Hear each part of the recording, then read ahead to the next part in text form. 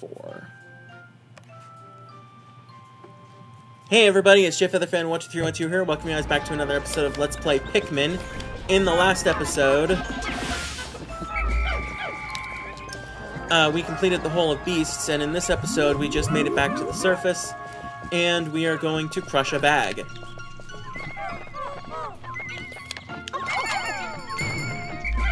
I believe, uh, if done right, you can actually get a purple up up to that treasure. Um, and I think it does have to be a purple because it's done through, like, manipulating their homing attack in some way. Oh, yeah, I did it, see? I don't know how I did it, but I did do it. So, I'm just gonna let that fall. And then I'm just gonna send uh, a couple reds. Five, six. Through another one. There. That'll make it back to base, and then I can just live without those guys.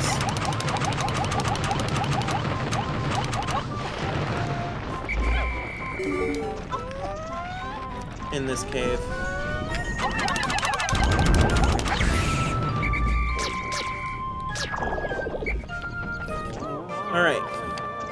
Just gonna be waiting for those guys to make it back. Eh, they'll be back shortly. Maybe I should have thrown a few more, because it's not like it's gonna be that big of a deal for me to have a few less reds in this cave. But, uh... Eh, it's too late now. It would take more time to throw more... It would take too much time to throw more Pikmin on it at this point. And here it is. Carmex for cold sores. Healing cask. And now here's the cave. Astounding! My metal detectors are reacting violently. What could be down below? If you find trouble below, press start slash pause to contact me and press R on the radar screen. The exploration pod will drop its loot to make room to carry you, Louie, to carry you, Louie, and the Pikmin to safety. But that does mean if you give up and escape the cave, you will lose any and all treasure you've collected. Which makes sense because the... Theoretically, it makes sense because the ship needs the room to, car to carry you and the Pikmin out of the cave. Okay. All the other Pikmin, the ones who are carrying that uh, treasure, they are they automatically go back into their onion. Basically, if you enter a cave and some Pikmin aren't are around doing stuff and aren't in your squad, they automatically return to where they belong. So it ends up being not a huge deal. I lost a Pikmin. Now I'm sad. It was only one and it was red, but, like, now I'm sad. I didn't want to lose a Pikmin. I had been kind of thinking maybe I'd be able to do, like, a no-death run here. But I've already lost a Pikmin. Oh. Oh well. Um, I mean, it's Pikmin. You're gonna lose Pikmin. That's just kind of a thing. Anyway, let's get that treasure back. Looks like that's the only one in this floor, but the treasure gauge will tell us that, tell us uh, whether that's for sure or not. Um, yeah.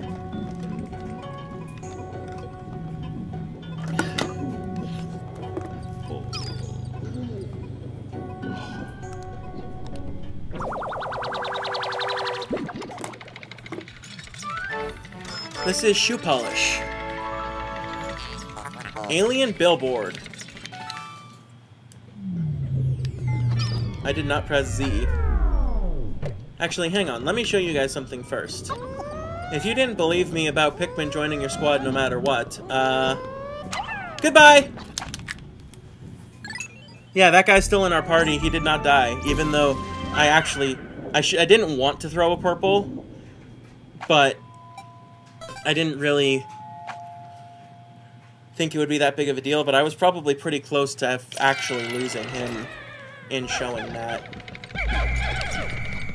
Now, these caves are dark, but there is a treasure you'll be getting later on in the game that lights up caves. So that'll be really convenient when that happens.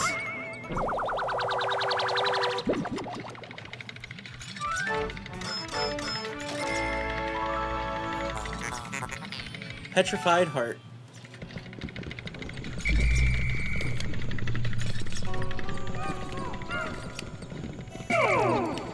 Fiery Blowhogs. Again, these are fire, so you'd expect that you want to use reds, but as always, purples just kind of destroy them.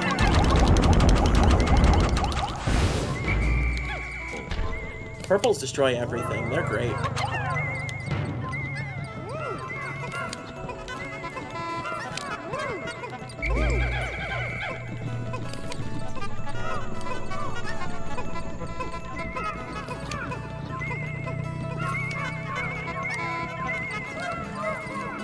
Go, bottle cap, go.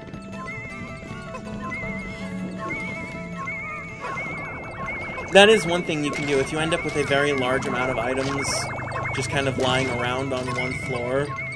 Um, throwing one purple at each to get them going isn't always the worst idea. A purple, one or two or three, depending on how many you need. But a purple, um, will get something back eventually. It'll just take an extremely long time. And I think there are some levels in challenge mode where that's actually what you want to do. Is throw a purple on a couple things to get them going while you go and focus on something else. So they'll at least make it back at some point. But, uh, technically, in quotes, we haven't unlocked challenge mode yet even though it is unlocked, but uh, the game doesn't think we've unlocked it yet because we haven't gotten there yet in the main story. And in here is the reason why we had to come here. Those little beauties, those ivory candy pop buds. Can you take a guess at the type of Pikmin that will be made from these flowers? I will give you however long it takes for that Pikmin to be plucked to figure it out. Uh, just a warning, you probably don't want to throw your purples.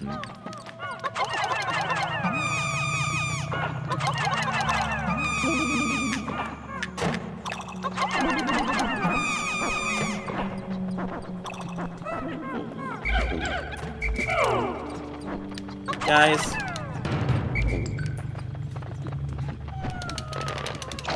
And we pluck. These are white Pikmin. They are immune to poison. They are the smallest, but they are not any weaker than any pic than any other color, I don't believe. But they are faster than the other colors. They also can see underground. So if there's a treasure that's 100 that's completely buried in the ground, white Pikmin see it and grab it. And your treasure gauge will lead you to any treasures that are completely buried in the ground. So there is that.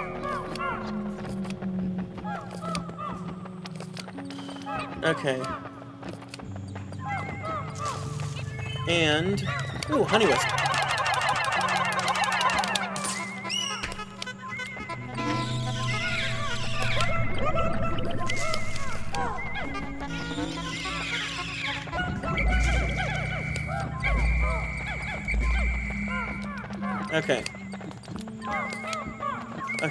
On, on our way out, the whites find something.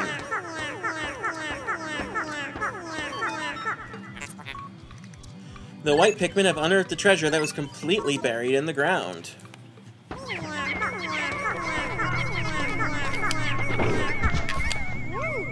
So they're going to take that treasure back, and we're going to press onward. Also, I just remembered what the boss of this um, cave is, and I'm not happy. I hate this boss. Oh well. Got the Honeywisp. It was only a nectar. Boo. I don't know if they can even give you potions yet, or if you need to have unlocked both. I think they can give you potions at this point. Because I'm pretty sure I've seen people who have never gotten the other potion via berries. So, they can probably give you potions right from the very beginning. Anyway, uh, gamma tape, gamma tape, gamma tape, gamma tape, gamma tape. Super stick textile. Delving deeper with my Pikmin.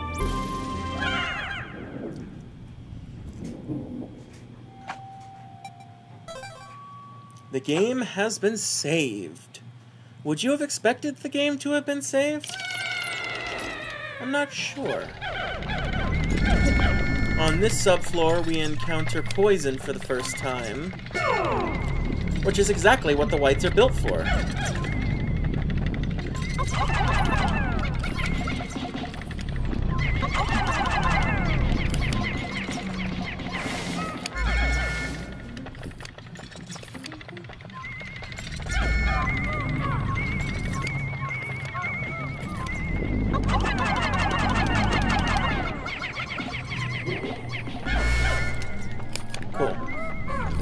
Let's take out this one too.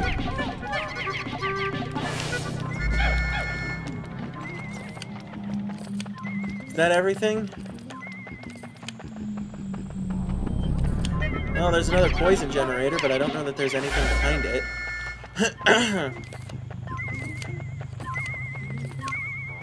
there is this, though.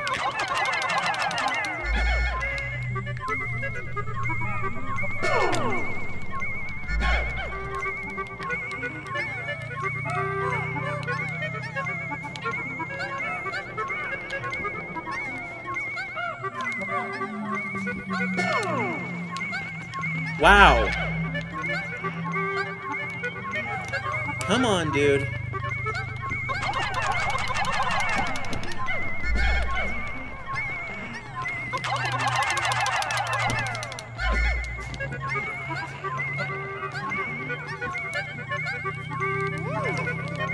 There. Guys. Jesus Christ.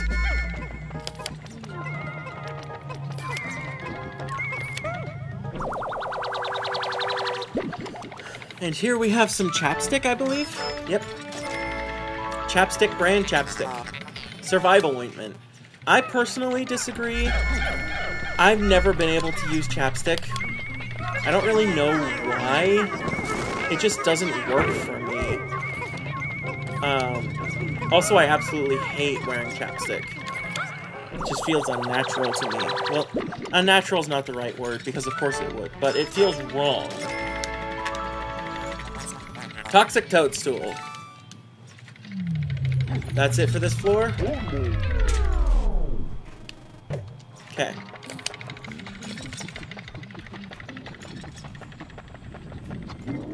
And off we go to sub-level 5.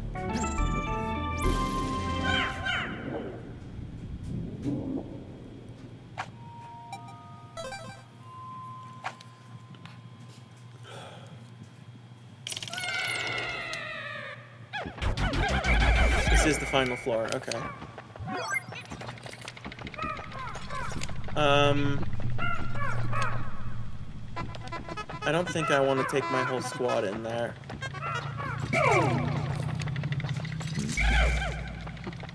And just give me my perps.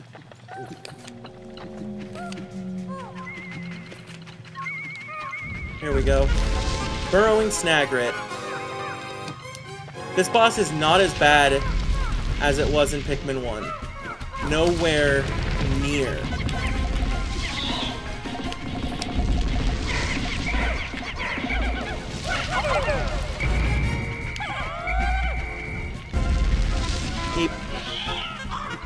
Okay. Yeah, this boss is nowhere near as bad as he is in Pikmin 1. And I think you only find one of them.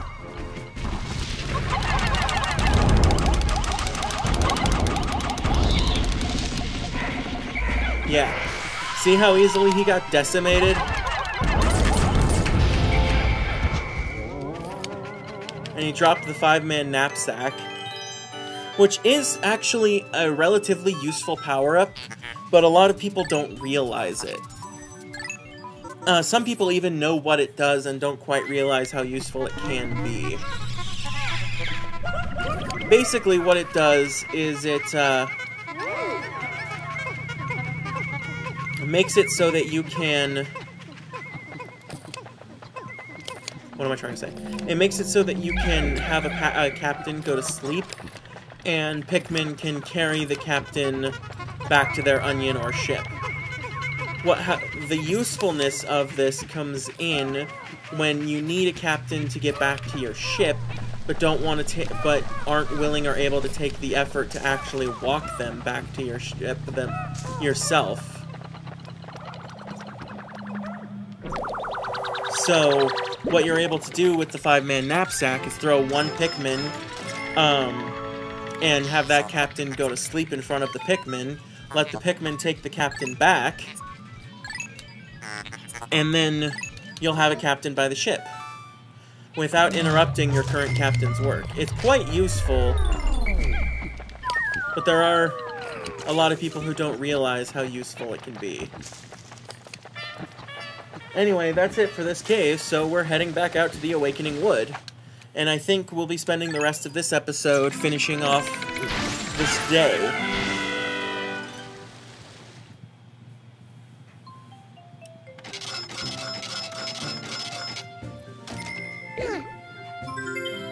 Cave complete. Okay, good. I was a little worried. I'm not going to show it, at least not yet. I might show it eventually if you sit on this cave complete screen for it's either three or five minutes, you'll hear Totaka's song. Um, I might do it with the uh, a future cave. I probably will. I just don't want to do it right now. Okay, so for the rest of the day, I have a job for whites. And that's kind of it. The whites have two jobs, but one's a bit more important than the other.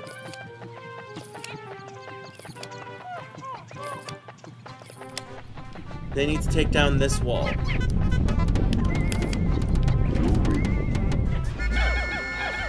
While they take down that wall... First of all, let me pull out the reds that went back into the onion. Um, plus one extra because I lost one. Now you guys can take those back.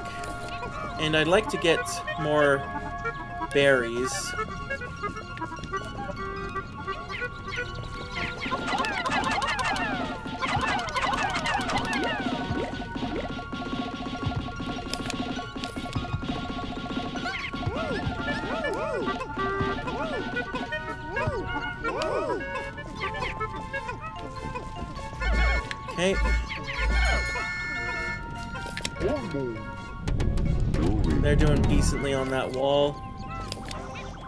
All I'm gonna worry about right now is just getting back, getting berries. And this is really easy to just go grab my Pikmin while I wait. I was really hoping the whites could uh, take this down a little bit faster. In fact, since I'm getting berries, I could use an ultra spicy spray on them. Since there's still a decent amount to do to, fin to finish everything I wanted to get done today. Um, there's a good chance I'm going to have to return to the Awakening Wood for one more day just to do a couple little things. Um, if that's the case, I'll probably just include that day in this video as well. I don't see much of a reason not to. I'm just gonna bring the rest of my squad the wrong way, apparently. Over there. I'm not gonna get the whites working on the other poison wall. They could. And I would be spending... And if I fail to finalize this today, then they probably will be taking down that other poison wall tomorrow. I'm hoping I have enough time to do everything I wanted to do today. Okay, I have my whole squad. Give me my purples. Another thing about this game is that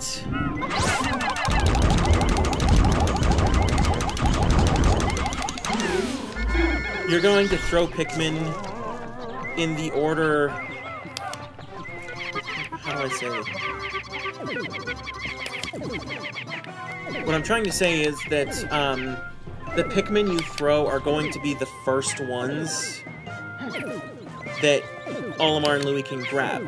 So if you grab a purple, if you specifically tell the game you want a purple, and then you have a purple in your possession, like you're holding it ready to throw, but you walk really far to get to said enemy, then uh, getting that, then all the purples are going to go behind the other Pikmin, and you're only going to throw the one before it switches to another color because purple because the purples haven't caught up yet. So you always want to give the purples a chance to actually catch up. Anyway, getting this back to base is what I needed to get done before the end of the day. If we can get this back before the end of the day, then we won't have to return here for another day until we complete the next area. Or start the next area. Purple, you can join. Good boy.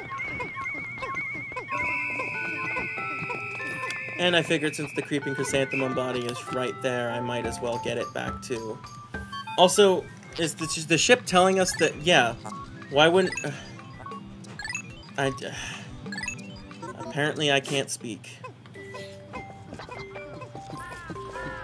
Yeah, I didn't need that game. I know. Alright. See if I can throw these Pikmin onto this as well to make it go faster.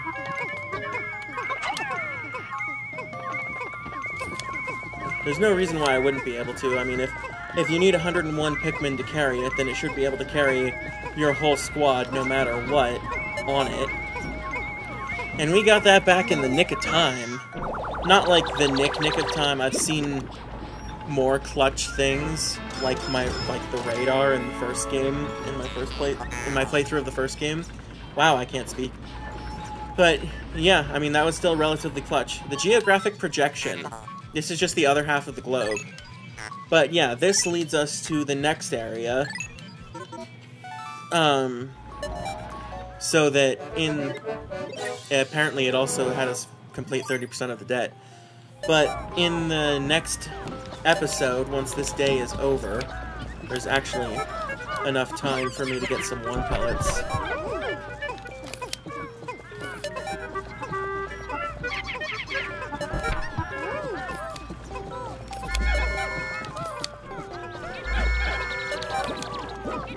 Might as well raise my numbers just a little bit.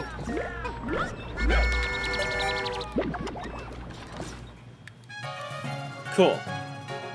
So we've completed everything I wanted to get done on this day. Technically, if I had managed my time a bit better, we could have done a tiny bit more, but not that much more. Also, apparently we had Pikmin in the ground? Did the did the final two pellet end up spitting out those Pikmin after the fact that it didn't spit out the Pikmin until after mean that they're in the ground now. That's a little irritating. But oh well, it's fine. Today's report, we earned 2,183 Pokos. Yeah, just a couple Pokos. We have 89 reds, 15 whites, and 25 purples. And we lost one Pikmin to battle.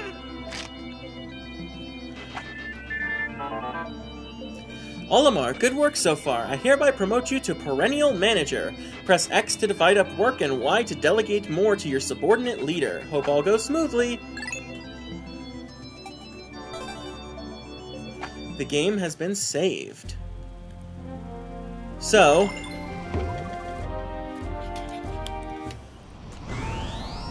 in the next episode, we'll be going to the Perplexing Pool.